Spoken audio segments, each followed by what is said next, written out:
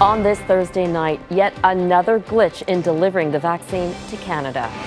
How did the Liberal government let things get so bad? How this country keeps falling behind as others forge ahead. COVID 19 compounds the crisis for the homeless. How many homeless got to die before somebody wakes up and does something? The drastic measures overwhelmed and understaffed shelters are taking. And the calls to boycott the Beijing Olympics. Somebody has to break that uh, cycle of uh, retaliation and bullying. Why Canada isn't on board. Global National with Dawna Friesen. Reporting tonight, Robin Gill. Good evening and thank you for joining us. We begin with Canada's rocky vaccine rollout. After weeks of shortages, the government is warning provinces more disruptions are on the horizon. This week's Moderna shipment was slashed by more than 20%. Now, the government says the next shipment will also be reduced, but it doesn't know by how much or why the cutbacks are happening.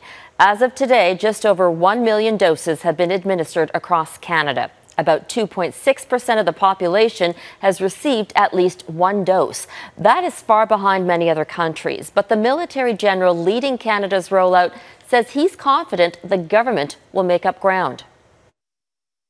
This is a long game.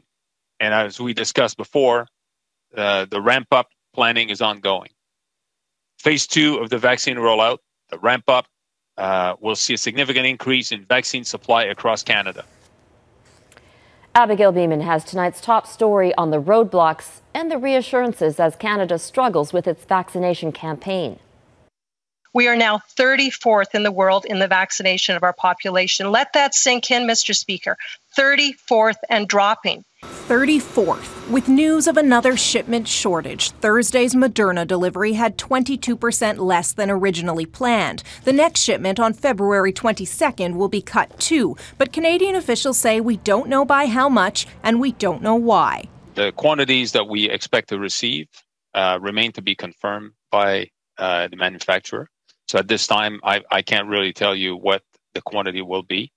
Uh, but we do not expect to receive 249,000. News of a different kind of delay, too, after the procurement minister assured everyone the special syringes that help get six doses instead of five out of a Pfizer BioNTech bottle were coming this week. Two million or so.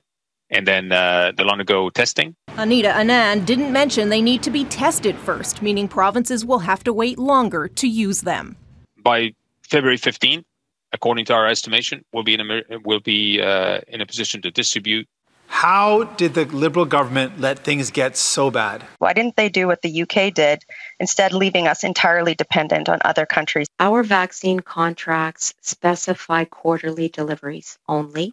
Testifying at committee, Anand revealed one detail of the highly secretive vaccine contracts. Manufacturers only have to meet delivery requirements every three months. She also said the government pushed all vaccine manufacturers about producing vaccines in Canada, like the deal just announced with Novavax, but the rest decided Canada's capacity was too limited. PSPC frequently, forcefully, and aggressively brought this issue to the table, raised it with the manufacturers.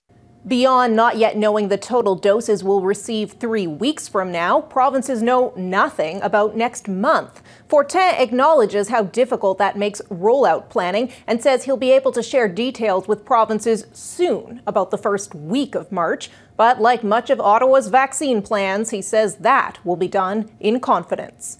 Abigail Bimman, Global News, Ottawa. The Canadian government is urging patience, but other regions are racing ahead with widespread vaccinations.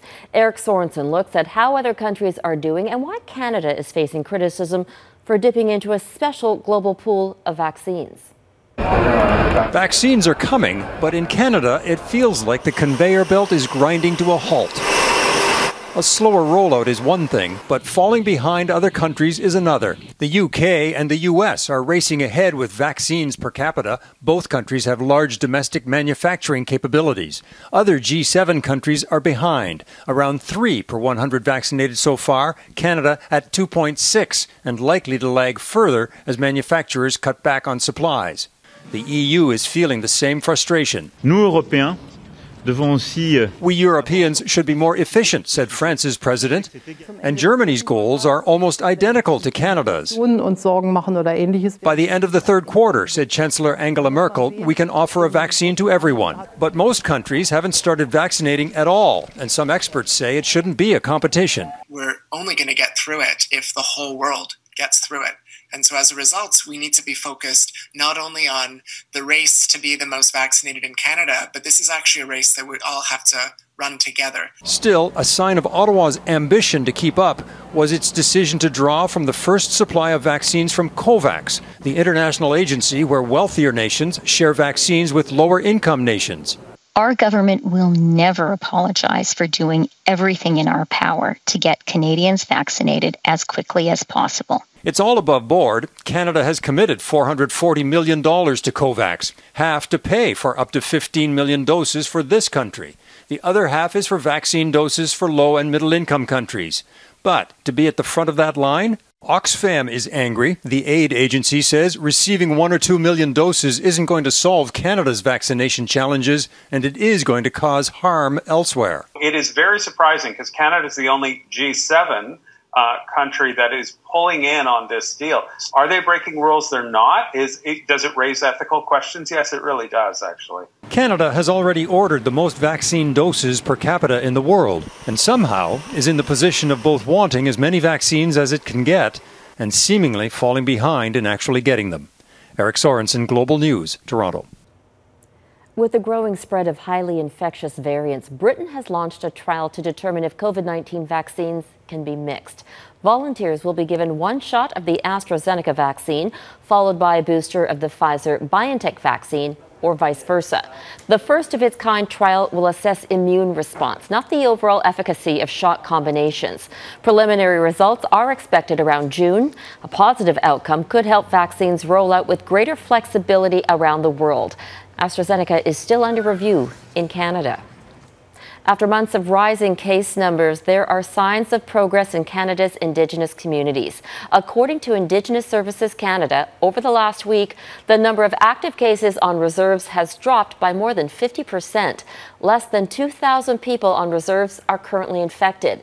That's the lowest number since early December.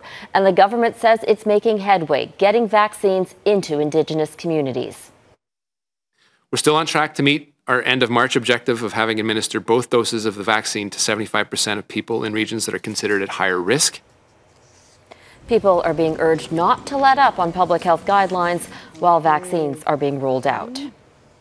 Cruise ships won't be returning to Canadian waters anytime soon. The government has extended its ban on ships with more than 100 people until February 2022. Canadians are being urged to avoid all travel on cruise ships outside Canada until further notice. New federal travel rules are now in place at Canada's airports. International flights are now restricted to four airports Vancouver, Calgary, Toronto, and Montreal. It's part of a push to discourage travel and slow the spread of new variants. The government says it will soon impose mandatory testing and hotel quarantines. In Toronto, at least 20 residents of a large homeless shelter have tested positive for the virus. City officials say they've all been moved to a recovery center while they try to curb the outbreak. Homeless people are struggling everywhere right now, including Quebec, where it's bitterly cold. Shelters have reached capacity in Montreal, a crisis that has also turned deadly. There are growing calls for the government to step up and help, but as Amanda Jelowicki reports, it's an uphill battle.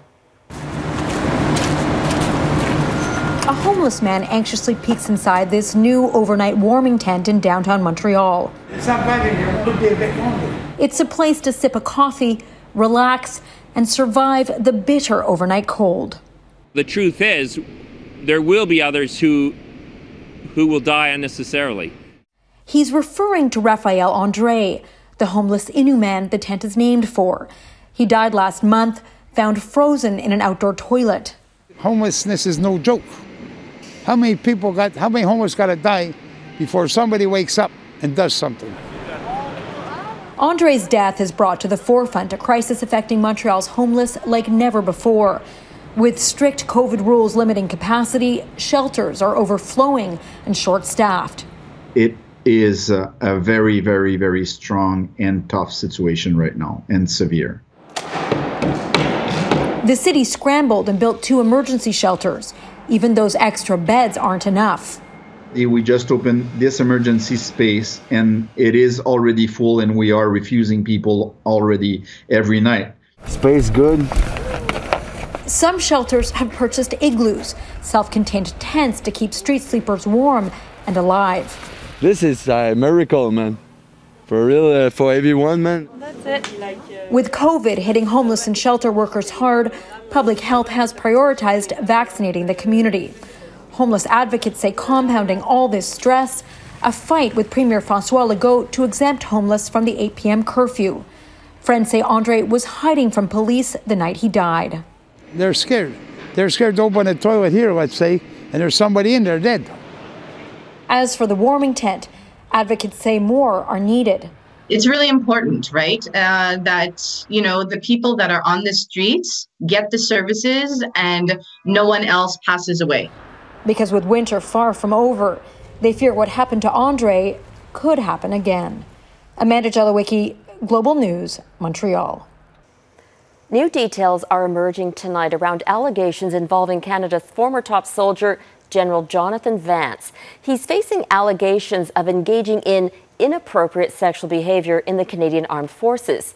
Military police are now investigating the case.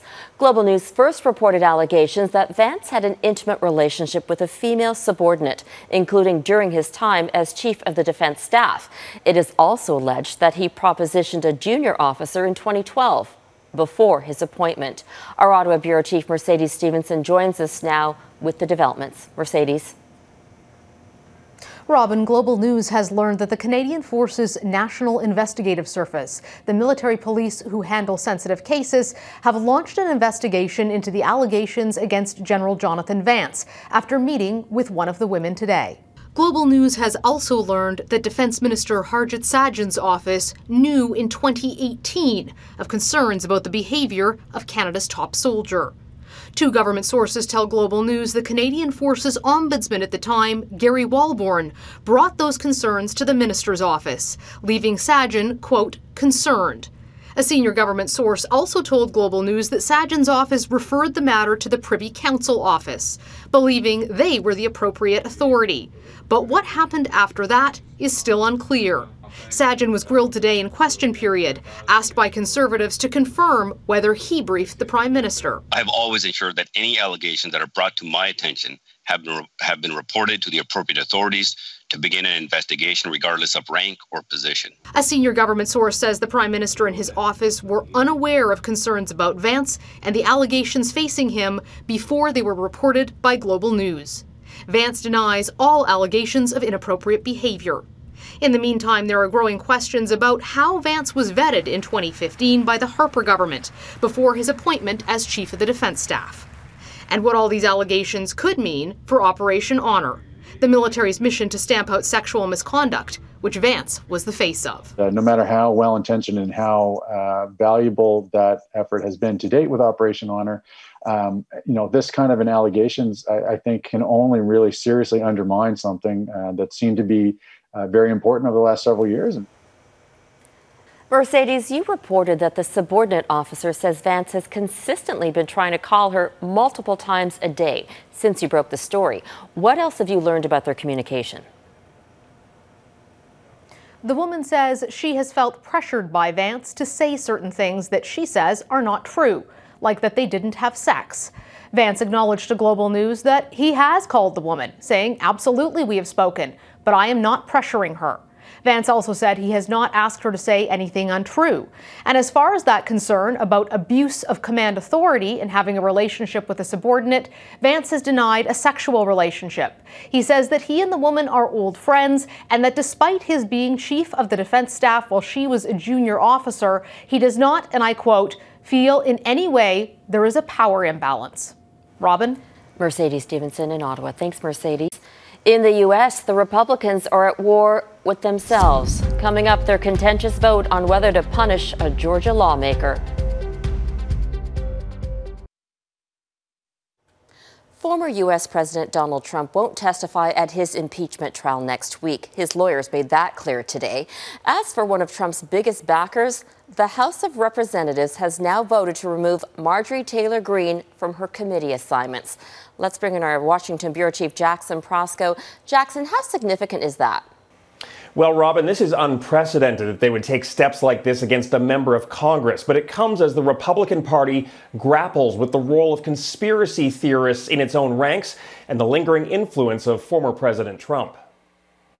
I was allowed to believe things that weren't true. Seeking distance from her own well established beliefs, Congresswoman Marjorie Taylor Greene made a defiant plea but offered no apology. Will we allow the media that is just as guilty as QAnon of presenting truth and lies to divide us? Greene's tumultuous first month in office has been defined by her years spent promoting conspiracy theories, from QAnon to bizarre anti Semitic claims about space lasers. Why are you supporting red flag gun laws that attack our Second Amendment rights? She harassed survivors of school shootings and claimed the tragedies were staged. And you have nothing to say. Do you have any regrets? In the weeks following the storming of the Capitol, calls for Greene to face consequences have only grown louder. She claims uh, that Speaker Pelosi is guilty of treason and then says, quote, it's a crime punishable by death is what treason is. Nancy Pelosi is guilty of treason. We denounce anything that we've seen that was said in that past. And when Republicans refused to strip Greene of her committee assignments,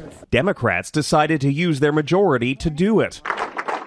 All the while, Greene has used the controversy to fundraise, with the continued support of former President Donald Trump. I think what it says is that people think they can win elections by using this messaging. This former Republican congressman sees dangerous days ahead. In a closed door caucus meeting on Wednesday, it was Republican Liz Cheney, not Greene, who came under fire because of Cheney's support for impeaching Trump. I just don't think you're going to see a whole lot of accountability for the awfulness on January 6th uh, with leaders who spread disinformation. As Republicans claim Greene shouldn't be punished for her conduct before she was elected, they're also preparing to argue that a now former president can't be punished for his conduct while in office. Despite Trump's refusal to testify before the Senate impeachment trial next week, it is still possible he may face a subpoena from the Senate for his testimony. It's also just as likely that they'll use his refusal to speak as evidence against him as that impeachment trial gets underway next week, Robin. Jackson Proskow in Washington. Thanks, Jackson. Still ahead, empty front pages lay out a dire message about Canadian journalism.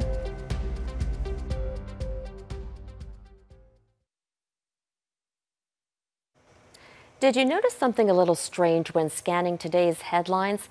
In some cases, they were blank, not because there was no news to tell. It's all part of a new campaign launched by News Media Canada. The association represents the print and digital media industry and is calling on Ottawa to take action and impose laws against tech giants like Google and Facebook from taking news content from Canadian publishers and profiting without paying. It's uh, something that they've agreed to do in, in France, and they are we're working towards it in Australia. So we think we need a made in Canada solution here. You can find out more about the call to action on our website. That's globalnews.ca slash globalnational. Up next, the bid to boycott Beijing's Olympics and why the Canadian Olympic Committee isn't on board.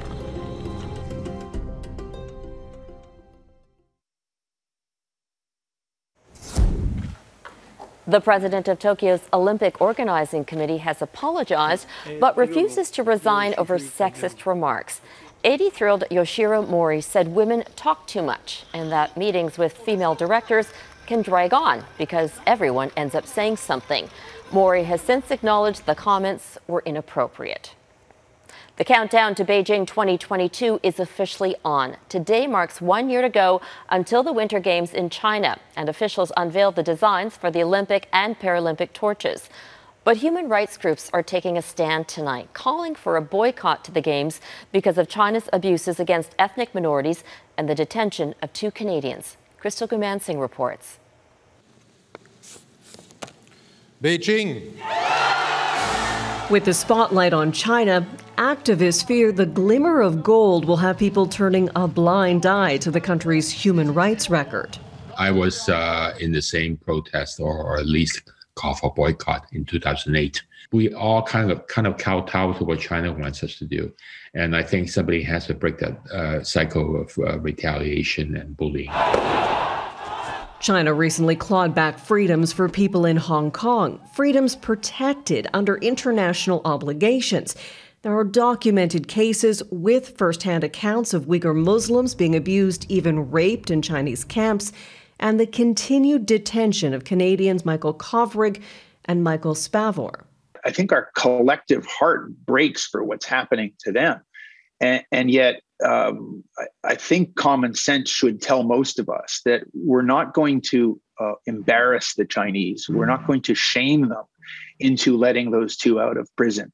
David Shoemaker says his job is to support Canada's athletes, and he demonstrated that in an open letter, writing, In no way are we at the Canadian Olympic Committee and Canadian Paralympics Committee trying to minimize what is happening in China. But a boycott is not the answer. Canada didn't go to the Moscow Games in 1980, and there have been many calls for boycotts since, including the 2014 Winter Games in Sochi and the 2008 Games in Beijing. When it comes to these games, the Association for Democracy in China says Canada shouldn't go. At least giving the people in China some hope that people care outside. Shoemaker lived in China and says he gets it, but Canada is going. We, we did want to make sure that the athletes understood no, no, we're, we're behind you um, we don't think you should be used as pawns in a, a dispute among nations. A clear message for athletes, but one that won't silence critics of the Games. Crystal Goomansingh, Global News, London. And that is Global National for this Thursday night. I'm Robin Gill. Tonight, your Canada is Spray Valley Provincial Park in Kananaskis Country, Alberta. We would love to see your corner of this country, so please keep sending your photos to viewers at globalnational.com. Thank you for watching, and I'll see you back here tomorrow. Have a great night.